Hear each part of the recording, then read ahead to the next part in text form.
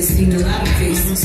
All hell, I can fuck different races. A white dude, his name was John. He a clean weed, was tattooed on his arm.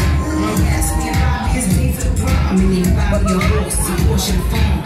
The name from down south, used to like me, spank me, come his mouth.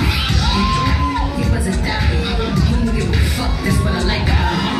Yeah, I see from the dog to the moment. Pulled this girl up and told her we was roaming. Puerto Rican Bobby used to be a deacon, now he be sucking me off on the weekend. And this black dude, I call King Kong, he had a big ass dick and we